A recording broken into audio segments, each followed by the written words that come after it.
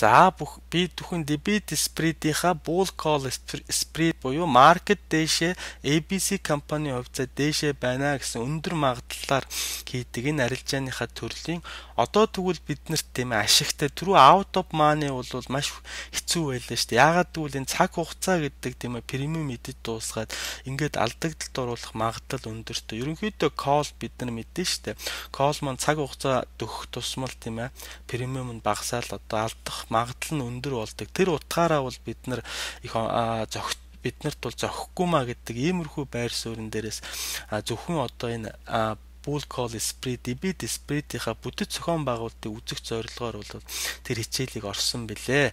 Одоо тэгвэл энэ хичээлийн маань гол одоо давуу тал буюу энэ арилжааны давуу тал биднэрт цаг хугацаа явах тусам no worries буюу цаг хугацаа бидний одоо нэг осондоо найз байдаг.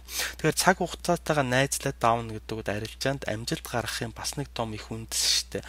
Хамгийн гол нөхцөл нь бол яагаад цаг хугацаа найз зуун гэхээр энэ хувьцаа маань эндэ мааны дээрээс call авч хийгдэж харагдаж байгаа учраас өөрөөр хэлбэл энэ хувьцааг одоо бидний авсан strike price болох одоо жишээлбэл 30 29 одоо энэ үеийн энэ хав дээрээ л одоо үн тогтож байх энээсээ дээшээ байж их ийм хоёр нөхцлөөр авж байгаа учраас энэ хувьцааны үн одоо дээшээга 30 доллароос ч юм 29 доллароос дээшээ байх хугацаа магадгүй тийм богинохон байна штэ.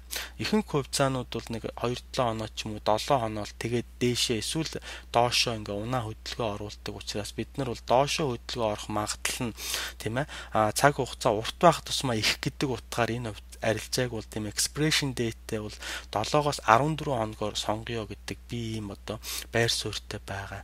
Тэгэхээр энэ маань биднэрт богино хугацаанд тийм ашиг олох мөнгийг эргүүлэх ийм сайхан боломжийг олох арилжаа учраас бид бүхэн бол маш их хийж энгээр бол одоо гарч гаршиж занималд сурах хэрэгтэй юм байгаамаа. Тэгэхээр хувьцаанууд бид нар бол дээшээ өсөөч юм уу ерөнхийдөө үнэ хадгалдаг иймэрхүү сайн компаниуд бол маш их шүү дээ. Ялангуяа SPY Dow Jones Industrial Average Index-үүд гих мэтчлэнгээр бид нар бол маш олон хувьцааг гайгүй юм сайн компаниудыг бол олж болно. Эдгээр компаниудад богино хугацаанд бид нар expiration date нь дуусахаас өмнө иймэрхүү байдлаар маневр хийж ашиг олох боломжтой.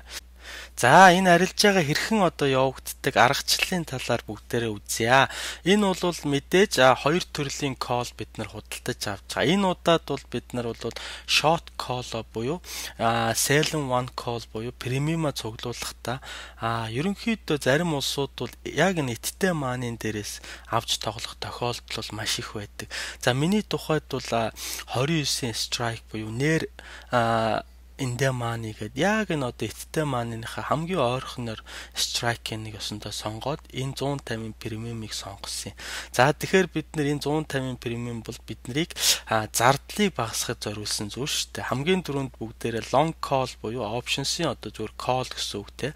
Тэгэхээр strike price нь 25 сонгож байгаа. Тэгэхээр энэ маань бол жишээлбэл премиум нь 500 доллар Магадгүй тэрнээс ч одоо их байж. Яагаад гэвэл энэ дээр intrinsic value буюу бодит үнэлгээ ороод дээр нь volatility нэмэгдсэн байдаг. Ерөнхийдөө одоо энд эндэ мааны дээрээс тэгэхээр бас зарим улсууд тийм ээ deep эндэ мааны дээрээс тоглох тохиолдлууд их байдаг. Яагаад гэвэл deep эндэ мааны дээр delta маань 90 байдаг.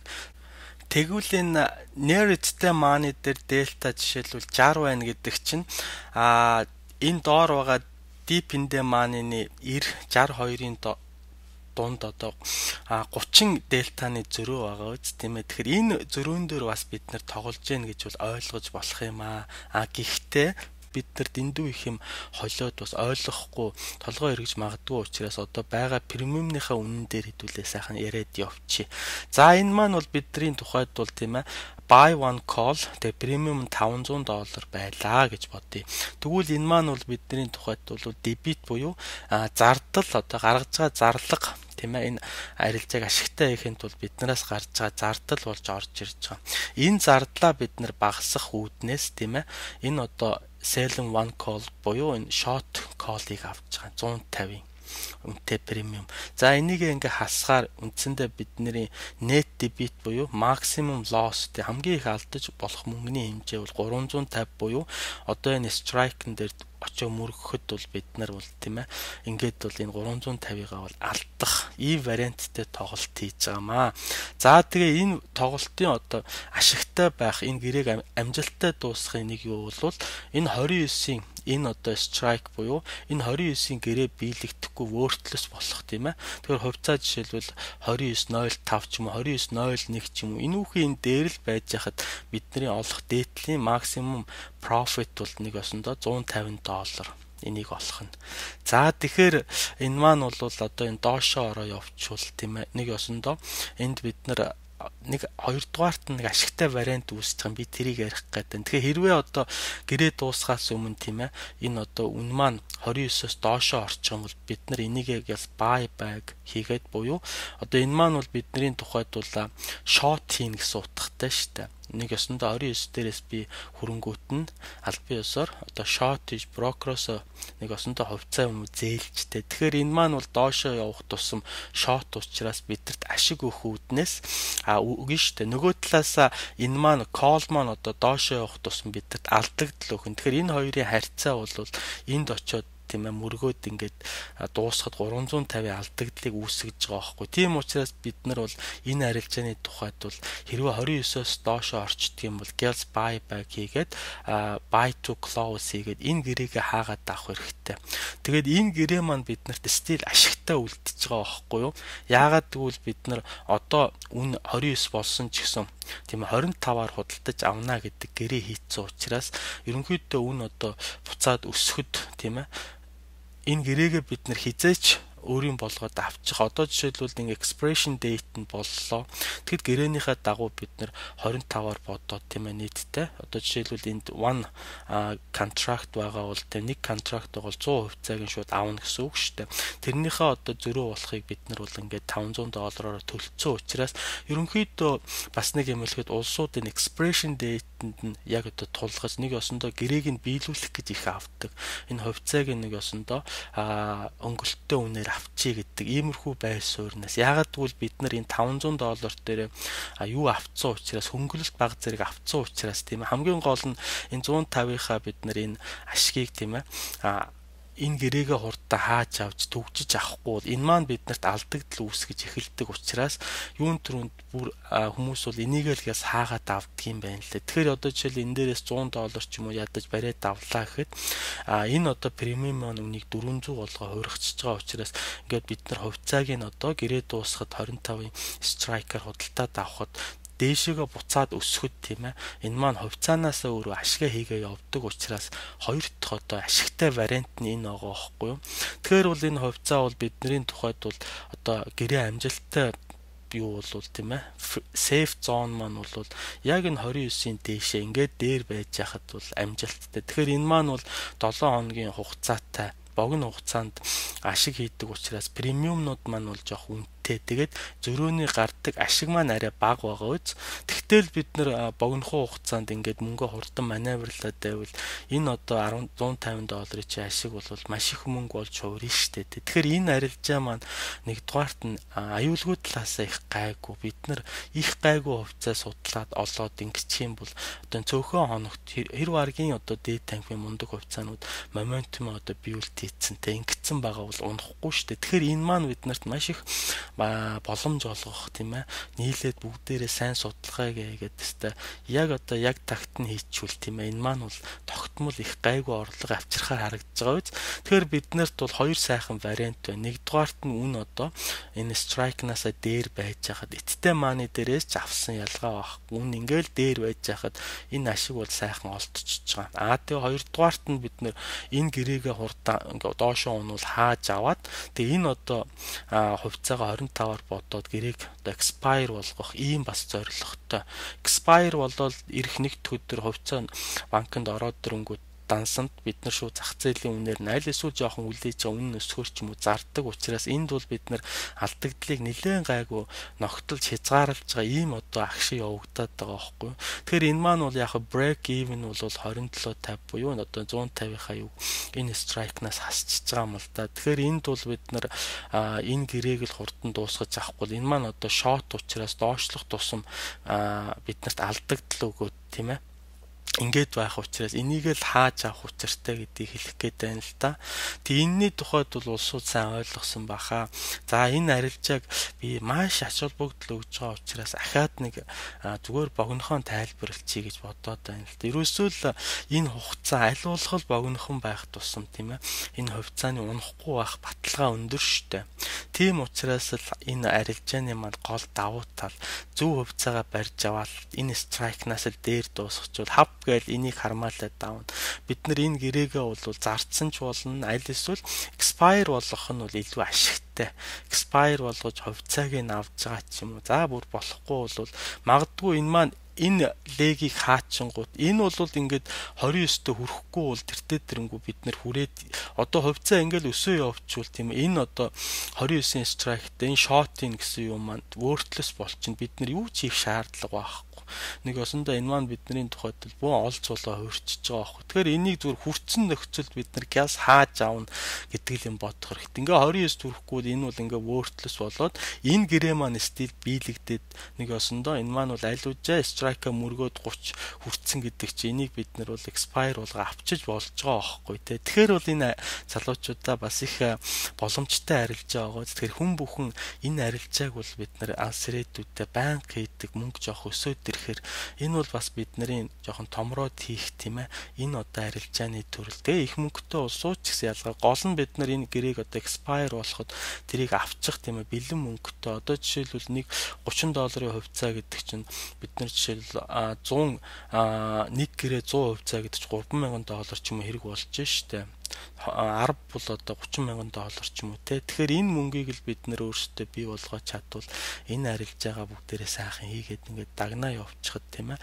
Тогтмол орлого гайгүй өгдөг ийм одоо арилжаа болох учиртай гэж би хэлэх гээд байна л та.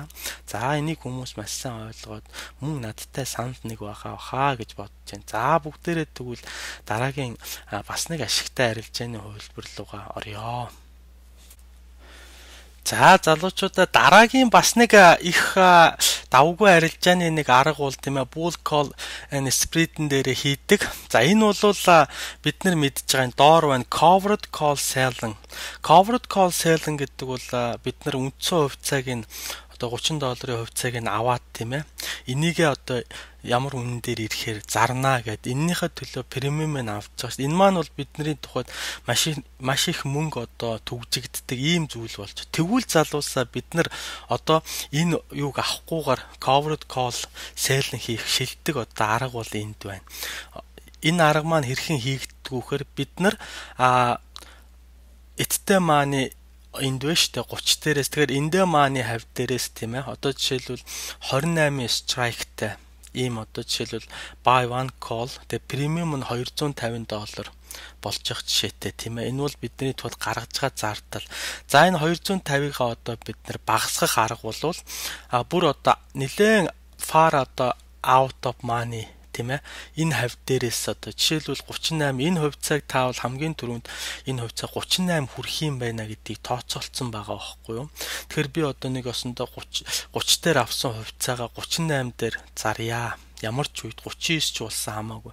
Тэрнийхээ оронд энэ премиумыг авъя гэсэн гэрээ хийж байгаа шүү дээ.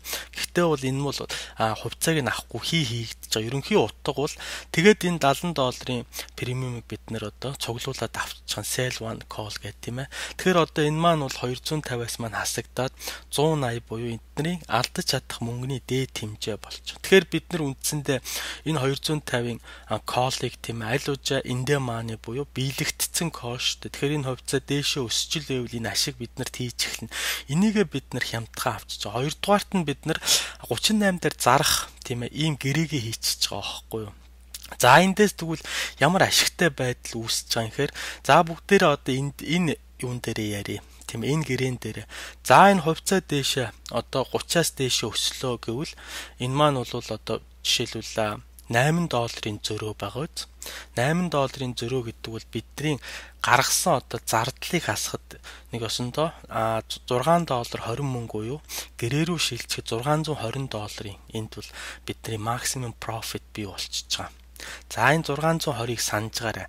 За тэгвэл энэ одоо short call-ын маань тийм ээ хийсний одоо биднэрт үүсэж байгаа хариуцлага бол энэ юуг бол тийм ээ 38 дээр ирэхэд бид нэг осондоо хувьцаа зарах шаардлагатай болж байгаа үз. За тэгвэл short гэдэг маань бид нар энд брокероос хувьцаа зээлж зарна гэсэн утгатай шүү дээ. Тэгвэл одоо бид нарт тэгэх шаардлага байхгүй. Энэ гэрээ маань биелэгдсэн чинь нэг осондоо энэ гэрээгээ бид нар энд хувьцаа болгож авангуудаа энэ хувьцаагаа бид нар одоо энэ нэг осондоо энэ call covered call-ийн хооронд өгчөж байгаа байхгүй. Хувьцаа өгнө штэ бид нар. А дахиад хэлье бидний үүрэг бол тийм ээ. Энэ 30 доллар дээрээс 38 дээр ирэхэд бол 39 40 ч болсон хамаагүй зарна гэдэг гэрээ хийж байгаа. Тэгэхээр энэ 28-ын одоо strike-та юу маа нэг ёсондоо бүр сайхан биелэгдэ. Хизээч бидний мөнгө болж болох учраас бид нар энэ гэрээг хувьцаа болгож авангуудаа энэ юунда өгчөж байгаа байхгүй энэ covered call sale-нда. Тэгэхээр энэ маань бол биднэрт одоо 600 доллар 20 долларын маш том ашиг авчирж байгаа үстэй. Тэр энэ арилжааг бол бид нар бол маш сайн хийж сурах хэрэгтэй. Expiration date нь энэ covered call sale нь болохоор тийм ээ жоохон архиухан цаг хугацаа бол бидний тухайд энэ гэрээ биелэгдэхгүй л байвал бидэрт ашигтай шүү дээ. Энэ премиумын авчин тийм ээ.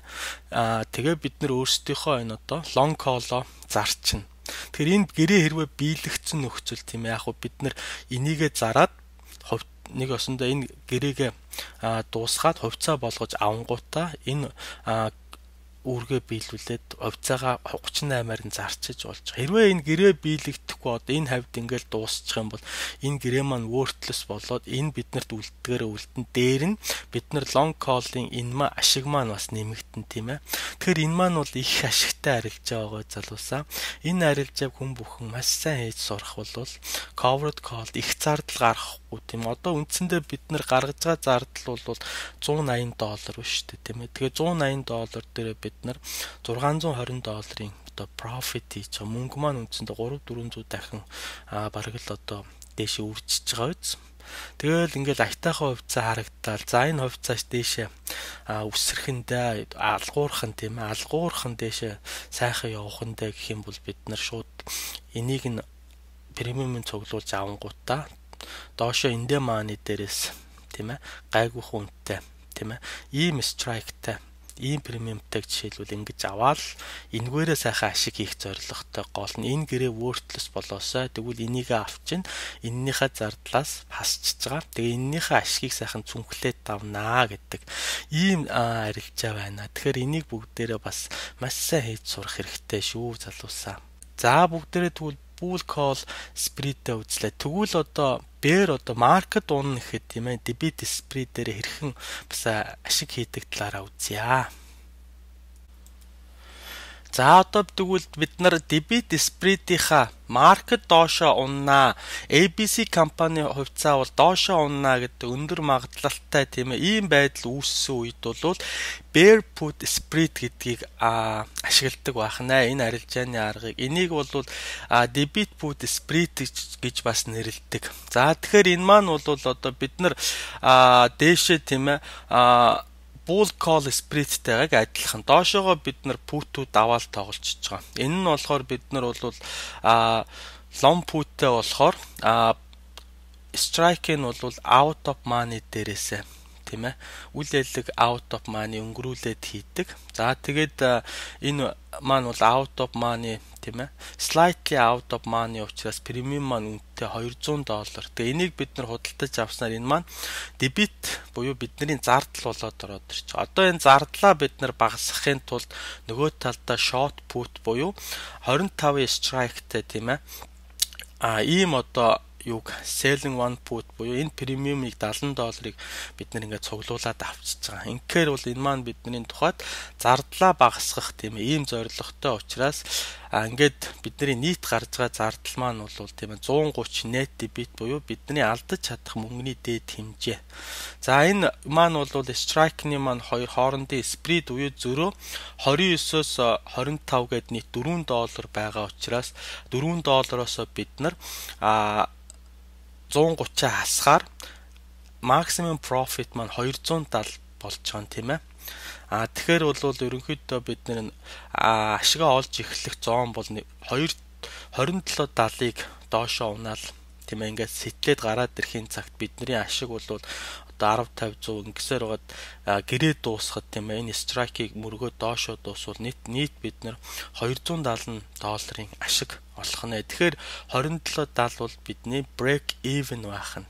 За хэрвээ хувьцаа тийм ээ энэ дээрээсээ ингээд хүрэхгүй 29-оос дээшээ ингээд өсөө явчих юм бол одоо энэ бидний алдах мөнгөний хэмжээ жишээлбэл иймэрхүү байх юм шинжтэй. Тэгэхээр бид нар одоо аль болох бага мөнгө алдчихж байгаа дээрэл тийм энэ хавар зарж аавна гэдэг бол бас гол ухаан тийм ээ.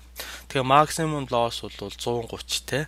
За энэ дээр мөн адилхан дээшээ бид нар тийм ээ а bull call spirit-тэйгээ адилхан expression date 60-аар өгч байгаа. Яагаад гэвэл энд бол бидний тухайд цаг хугацаа бидний одоо дайсан болж хувирж байгаа байхгүй. Тэгэхээр энэ маань мөн цаг хугацаатай уралддаг учраас тийм учир дутагдaltaй байгаа юм л да.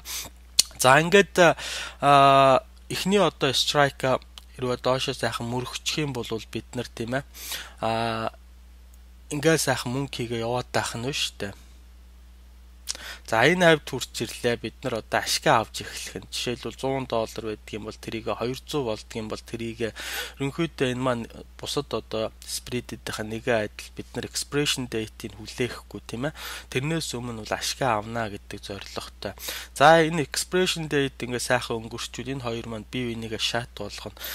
За хэрвээ хоёр одоо strike-ныхаа хооронд expression date нь болчих юм бол энэ удаад бид нар тийм ээ энийг хаяад эн чинь өөрөө тэртээ дэрнгүү 20-та хүрэхгүй учраас worthless болоод энэ маань ингээд expire болчих шүү дээ. Энд бол үйлдэлийг шаардлагагүй юм байгаамаа.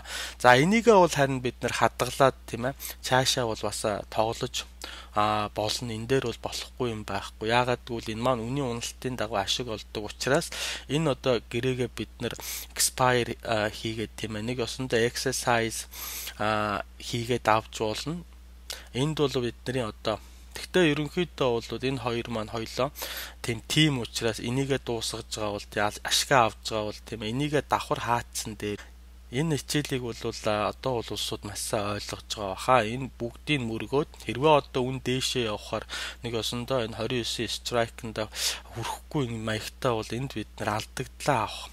За энийгээ өнгөрөөд одоо 20 брейк ивнэ өнгөрөхөөр бид нар ашгаа авах. Тийм ээ. Аль эсвэл бүгдийг нь одоо expression date-ийн дуусгуул максимум 270-ийн ашиг олох ийм л учиртай.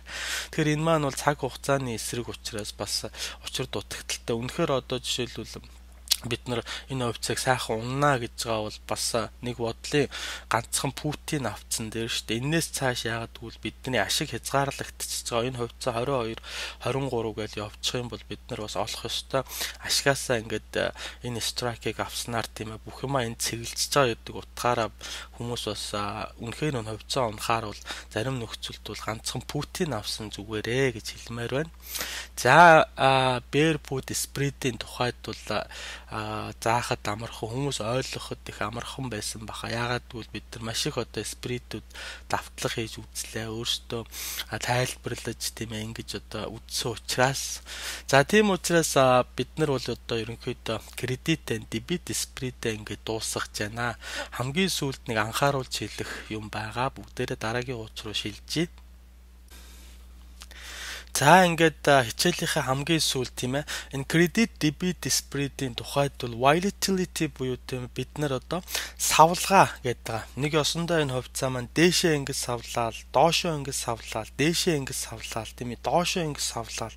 Энэ бол энэ савлгаа бол тийм ээ сүрэл авчирна гэж байна. Тийм. Тэгэхээр бол одоо үнэхээр тогтмол орлоготой тийм ээ энэ одоо credit debit-ийн утгыг ойлгоод одоо ийм одоо словдууд тийм ээ хөдөлгөөнтэй хувьцаанууд дээр гол нь бид нар тогтмол ашигтай байх зорилгоор энэ хичээлийг нарийн үзээд байгаа. Тэгээ иймэрхүү чарттай хувьцаанууд харагдах юм бол энэ бол кредит and debit spread-ийн өөрийн бүтээгдэхүүн биш байна гэж автоматар ойлгох хэрэгтэй. Харин иймэрхүү юм багхан мөнгөөр ингээд савлаагүй байхад нь call дээшээ савлаа гараад нь доошоо савлгаанд нь пут ч юм уу те энэ бол яг хөө зүгээр сингл маягаар түрүү бид нар potential одоо дээшээ доошоо өсөлтийн тийм ээ маш их profit буюу ашгаа алднаа нэг ёсондоо хоёр зүйл аваад хязгаарлалцж байгаа учраас тийм ээ иймэрхүү хувьцаан дээр бол мэдээд савлгаагаар бол тийм ээ мөнгө хийн гэдэг бол бас call put-ийн гол утга учир дээ. Тэгэхээр ийм сайн савлгаатай хувьцаан дээр бас бид нар савлгаан дотор нь адилхан савлж чад болдог бол тийм ээ. Энэ маань бол бас их амархан их мөнгө хийхийн их зөв тоглол амархан ч юу аах вэ тийм ээ. Энэ савлгааг нь ашиглаж бид нэр амарханаар мөнгө хийж байгаа гэж ойлгож болохын давтамжийг харж тийм тэгэхээр иймэрхүү хувьцаатай байхад бол бид нар credit debit spread covered call гэл олон хичээлүүд үзлээ шүү дээ. Тогтмол орлоготой байх ашиг алдагдлаа тооцдог тийм иймэрхүү зүйл дээр бол ийм хувьцаа гараал ирэх юм бол залуучууд маань а өөр одоо арилжааны арга бодох нь байна шүү дээ Тэгэхээр энэ volatility гэдгийг бол бид нар сайн ашигладаг байх хэрэгтэй. Хамгийн гол нь жишээлбэл call тийм аваад энэ одоо актер савлц үед энд давхиал орчих юм бол хамаг юм алдсан шүү дээ. Давтамжийг харж чад одоо хаана нь бид үйлдэл хийхээ сайн мэддэг байх хэрэгтэй тийм. За бүгдээрээ ингээд төгсгөлийн хичээл болох тийм ээ. Авах зарах захиалгуудынхаа талаар тийм ээ хэрхэн өхвэ тэдгэрийг гэдэг хичээл рүү орё. За бид албан ёсоор одоо брокерийнхоо захиалгын хуудсанд очихоос өмнө ерөнхийдөө бол бид нар энэ кредит, дебит, сприт болоод өмнөх магадгүй хичээлүүд дээр ямар одоо зорилгоор тийм ээ ямар арга техник хэрэглэж энэ арилжааг хийж байгаа ба энээс үүсэх тийм ээ ашиг алдагдлаа тийм ээ мэдж байгаа ч гэсэн яг амьдрал дээр очихоор яг брокерийн захиалгын хуудсан дээр очихоор тийм ээ бодлох ойлгохгүй байх тийм ингэснээрээ магадгүй боломжоо алдах аль эсвэл эрсдлээс өөрсдийгөө хамгаалж чадахгүй байх тийм ээ ийм тохиолдлууд амьдрал дээр маш их гардаг учраас бид нар бол одоо худалдаж аваад худалдаж авсныхаа дараа яаж зарах вэ тийм ээ хэрхэн одоо арилж байгаа эсвэл цааш нь өрнүүлэх вэ гэдэг эдгээр үйлдэлүүдээ яг одоо амьдрал дээр захиалга өгөхөд мэддэг байж гэмээр энэ бол амжилттай арилжаа их хамгийн бас том нэг үзүүлэлтчүүд. Тэгэхээр бүгдээр энэ хичээлээр магадгүй өмнө үзчихсэн олон хичээлүүдийн бас ойлгогдоогүй юмнуудыг аа нэг осондоо ойлгож авах ийм зорилготойгоор бол credit and debit spreads тийм ээ энэ арилжаа хийхэд бид нэр хэрхэн одоо яг трейдинг ордеруудаа буюу захиалгаа өгөх вэ гэдэг одоо ийм зүйлийг энэ схемээрээ үзүүлэх гэж байна. За тэгэхээр бид нар мэдж байгаа buy to open гэдэг бол call put худалдаж авахд тийм ээ хэрэгэлдэг анхны одоо худалдаа авалтын захиалга тий. Тэгэхээр нэг ёсондоо бид нар энэ одоо гэрээг options-ийн гэрээ буюу одоо премиумыг худалдаж авснаар нэг ёсондоо бид нар options-ийн одоо нөхцөлтэй юм гэрээ эхлүүлж байгаа. Энэ гэрээний маань нөхцөл тодорхой strike price-н дээр а тодорхой хугацаанд хүрэхэд биелэгдэнэ гэдэг тийм ээ. Ийм одоо гэрээг эхлүүлж байгаа гэсэн үг байна вэ шүү дээ. За ингээ бид нэр гэрээгээ эхлүүлчлээ. Тэгэхээр гэрээ маань бол options дээр а биелэгдэж болно, биелэгдэхгүй ч байж болно. Энэ бол бид нар нэг осондоо ашгаа авах, аль эсвэл одоо алдагдлаас өөрийгөө гаргах гаргах энэ үүднээс нь гэрээнээс өмнө бол тийм ээ. За мөн гэрээ одоо дуусах үед ч гэсэн хийх энэ үйлдэлүүдийг болохоор sell to close гэж байгаа. Нэг осондоо бид нар энэ эхлүүлсэн гэсэн одоо одоо гэрээгээ зараад дуусгаж байгаа гэсэн утгатай байхгүй юу. Өөрөөр хэлэх юм бол худалдаж авсан put call-уудаа зарах Тэнд бид нар худалдаад авсан put call-уудаа зарахтаа sell to close гэдэг энэ одоо ордерыг сонгодог байх нэ. За бид нар нөгөө талдаа тэгвэл sell to open гэдэг ийм одоо арилжааны нөхцөлийг сонгуул. Энэ бол put call-ыг заран зээлийн гэрээ үүсгэх буюу нэг ёсондоо өөрөөр хэлбэл sell гэдэг маань өөрт байхгүй юм а зарж энэ одоо options-ийн гэрээг эхлүүлж байгаа өөрт байхгүй юмаа зарна гэдэг бол а цорын ганц арга бол одоо брокеросоо бид нар тийм ээ энэ put call-ыг нэг осондоо зээлж аваад одоогийн зах зээлийн ханшаар нь зараад нэг осондоо энэ премиумын цуглуулж авч байгаа тийм ээ ийм үйлдэл байх нэ. Жишээлх юм бол амьдрал дээр зах зээл дээр ноолуурын ханш 40 мянга гинт өсчлөө. Та тэгэхээр энэ ноолуурын ханшны өсөлтийг бол одоо төр зур юм аа. Энэ өсөлтөн дээр нь бигээс ашиг яаж хийж авах вэ гэд аа бодож исэн чинь танай нэг найзад чинь жишээлбэл их хэмжээний ноолуур хадгалагдаж байгаа буюу найз чинь нэлээд олон сар хадгалж байгаа зарна гэдэг төлөвлөгөөтэй склатанд нь ингээ байж гин гэж бодъё л доо. Тэгвэл та найз дээр очиод за найздаа нэг 10 хил ноолуур зээлчгээ. Найз нь нэг сарын дараа тийм ээ буцаагаад өгчөө. Энэ бол экспресс expiration date тийм ээ чамд буцаагаад өгчөө. Ингээд та найзаасаа 10 хил ноолоор ангуудаа зах зээлийн ханшаар нь зараад За ингээд таны төлөвлөгөө хэрвээ амжилттай боллоо гэдэг маань бол зах зээл дээр ноолуурын ханш тийм ээ 35 мянган бутна нөгөө 10 хил ноолуураа худалдаж аваад ингээд найз дээр очиод за чиний энэ 10 хил ноолуур энэ байна шүү. Ингээ буцаагаад өгөөд энэ үнийн зөрөө болох тийм ээ 1 хил ноолуураас 5 мянган төгрөг ч юм уу та хожиж байгаа бол энэ бол энэ гэрээний одоо гол эхлүүлж байгаагийн утга учир төгсгөл хоёр нь орж ирж байгаа байхгүй юу. За ингээ бид нар яах вэ тийм ээ зээлийн гэрээ үүсгчдэг юм байжээ. Одоо тэгвэл энэ зээлийн гэрээ маань юм нөхцөл тийм ээ. Тодорхой хугацааны дараа энд бол strike price ярихдаггүй хамгийн гол нь чи тодорхой хугацааны дараа зээлээ эргүүлж төлнө гэдэг ийм асуудал үүсэж байгаа байхгүй. Бидний тухайд бол энэ зээлийг хугацаанд нь буцааж амжилттай одоо дуусгахын нэг утга учир бол нөгөө бидний одоо төлөвлөж исэн үнэн дээр очихгүй strike price-нд очих тийм ээ. Ингэжээж бид нар энэ зээлээс ашиг олно шүү дээ. За тэгвэл энэ маань бол тийм ээ зээл одоо амжилттай ч амжилтгүй ч бай. Ямар ч гэсэн зээлээ хугацаанд нь төлөх учраас тийм ээ хугацаанаас өмнө буюу хугацаа нь тулаад ирэхэд таавал buy to close гэдэг одоо энэ а арилжааны нөхцөлийг бол сонгож байгаа. Энэ болохоор нэг осондоо а энэ ихлүүлсэн to open буюу ихлүүлсэн гэрээгээ close хийх ингийн тулдаа одоо худалдаж авах буюу нэг осондоо өрөө төлөхийн тулд ноолуураа найздаа буцааж өхийн тулд одоогийн зах зээл дээрээс нь худалдаж авах шаардлагатай шүү дээ. Дахиад энд ашиг алдагдал тийм ээ хэрхэн одоо strike price-тайгаа төгсөн тийм ээ энэ одоо зүйлээс эсвэл strike price-а мөргөж эсвэл strike price өнгөрсөн гэдгээ шалтгаалаад энэ таны buy-ны buy-ны чинь бол ашиг алдагдал бол хэмжигдэн штэ. За энийг бүгдээрээ тайлбарлах юм бол зээлээ эргүүлж төлөн зээлийн гэрээгээ дуусгар болох тийм. Тэгэхээр энэ бол бид нар зээлийн гэрээгээ дуусгар болохын тулд одоо худалдаж авч тийм ээ зээлээ эргүүлэн төлж байгаа энэ үйлдэлийг болохоор buy to close гэдэг байх нэ. За өөрөөр их амархан бас нэг ойлгох арга бол бол тийм ээ. За call boot худалдаж авж байгаа бол ерөөсөө л buy гэсэн үг. Тэгээд энэ худалдаж авсан юм а call boot-тэй зарж байгаа бол энэ маань нэг үгээр илэрхийлвэл сайлал гэсэн үг тийм ээ. За тэгвэл доод талдаа sell to open гэдэг маань сайлал гэсэн үг. Тэгэхээр одоо байхгүй юм а бид нэр зарна гэдэг маань тэгээ options болоод хувьцааны арилжаан ч гэсэн short sell буюу бид нэр short хийх гэж ярьдаг штэ. Ингээд одоо брокероосоо зээлж аваад ингээд зарчиж байгаа, сел хийж байгаа. За buy гэдэг тэгвэл тийм ээ cover буюу за энэ cover buy гэж би бичсэн. Тэгж баг ярьдггүй бид нар мэднэ cover хийх л гэж ярьдаг. Тэ энэ маань бол а зээлээ эргүүлж төлөхийн тулд тийм ээ зах зээл дээрээс нь нэг осондоо тухайн хувьцаа эсвэл одоо options-ийн гэрээг худалдаж аваад ингээд одоо буцаага зээлээ төлж байгааг бид нэр бай гэдээ ойлгочих болох нэ. Нэг нэг үгүүдээр илэрхийлэхэд эдгээр одоо гурван үгнүүдийг те ийм одоо утгаар бид нар нэг үгээр ойлгож болох нэ.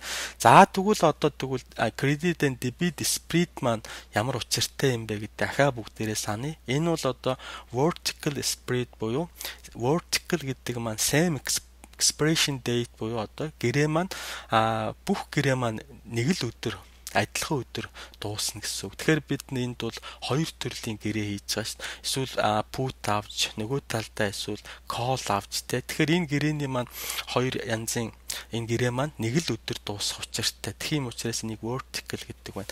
За тэгвэл одоо брокерийн одоо дансан захиалга өгөхөд spread маань бол өөрөө бүүл bear гэдэг хоёр ухтгунаар л орж ирдэг. Тэгээд spread-ийн маань өөрийнх нь төрөл бол тийм ээ. Бид нар одоо энэ арилж байгаа нэг өсөндөө зээлэр зээл авч буюу одоо кредит гэж бид нэр ойлгосон тийм ээ. Нэг өсөндөө өөрөөсөө мөнгө гаргахгүй хийж байгаа арилжааг бол кредит гэдэг.